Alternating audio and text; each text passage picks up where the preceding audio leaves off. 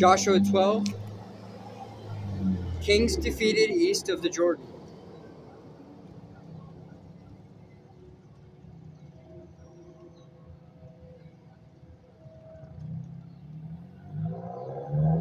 These are the kings east of the Jordan River who had been killed by the Israelites and whose land was taken. Their territory extended from the Arnon Gorge, Arnon Gorge to Mount Hermon and included all the land east of the Jordan Valley. King Sihon of the Amorites, who lived in Heshbon, was defeated. His kingdom included Aroer on the edge of the Arnon Gorge and extended from the middle of the Arnon Gorge to the Jabbok River, which serves as a border for the Ammonites.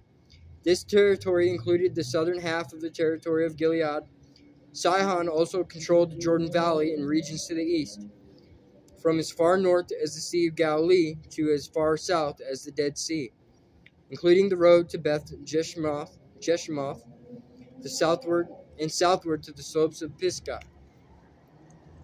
King Og of Bashan, the last of the Rephaites, lived at, at Hashtaroth and Edrei. He ruled a territory stretching from Mount Hermon to Salecah in the north into all of Bashan in the east, and westward, westward to the borders of the kingdoms of Geshur and Maacah. This territory included the northern half of Gilead as far as the boundary of King Sihon of Heshbon. Moses, the servant of the Lord, and the Israelites had destroyed the people of King Sihon and King Og. And Moses gave their land as a possession to the tribe of Reuben, Gad, and the half tribe of Manasseh. Kings defeated west of the Jordan. The following is a list of the kings that Joshua and the Israelite armies defeated on the west side of the Jordan from Baal Gad, in the valley of Lebanon to Mount Halak, which leads up to Seir. Joshua gave this land to the tribes of Israel as their possession including the hill country, the western foothills, the Jordan Valley, the mountain slopes, the Judean wilderness, and the Negev.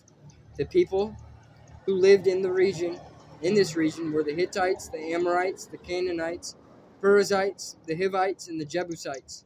These are the kings Israel defeated: the king of Jericho, the king of Ai, near Bethel, the king of Jerusalem, the king of Hebron, the king of Jarmuth, the king of Lachish, the king of Eglon, the king of Gezer, the king of Debir, the king of Gedar, Gedur, the king of Hormah, the king of Arad, the king of Libnah, the king of Adullam, Adullam, the king of Makkedah, the king of Bethel, the king of Tappuah, the king of Hepher, the king of Aphek, the king of Lasharon, the king of Madon, the king of Hazor, the king of Shimron and Meron, the king of Acshaph, the king of Taanach, the king of Megiddo, the king of Kadesh, the king of Jokneam in Carmel, the king of Dor in the town of Naphoth Dor, the king of Goyim in Gilgal, and the king of Tirzah.